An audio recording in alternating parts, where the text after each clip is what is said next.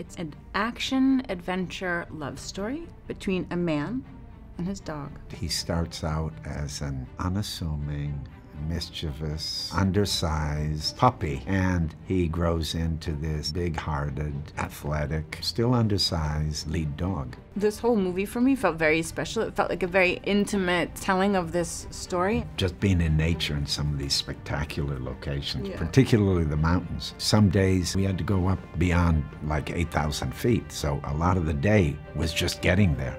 It was sort of thrilling because the challenges paralleled the challenges of what the story was about. And whenever that happens, that's always interesting because you have something really tangible that roots the pretending. Disney was a huge part of my growing up and watching movies. And I have to say, I watched the movie last night, and when the Disney castle is there and the music, it did, I did feel a little jolt of excitement. Well, I'm just happy that the movie works so well. So I'm excited to see uh, how people respond to it.